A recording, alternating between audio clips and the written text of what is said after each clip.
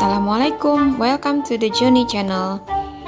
Guys, bagi yang suka memasak penganan atau camilan menggunakan kulit pastry siap pakai seperti zupa soup, banana milk crispy, pie, pizza dan lain-lain, terkadang banyak sisa-sisa potongan kulit pastrinya.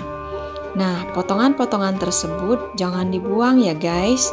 Sayangkan kalau dibuang, kita bisa manfaatkan untuk membuat penganan atau camilan yang sangat praktis dan insya Allah juga lezat. Berikut ini adalah salah satu cara memanfaatkan sisa potongan-potongan kulit pastry tersebut. Oke guys, ikutin videonya ya.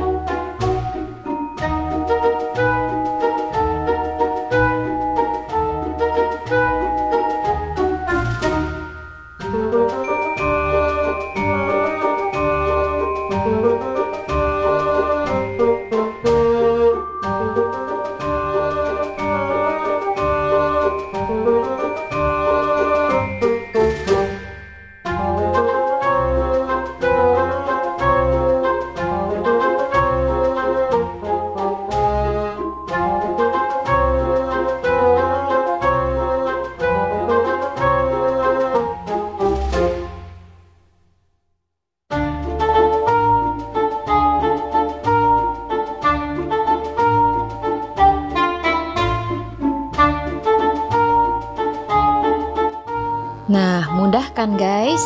Selamat mencoba. Assalamualaikum.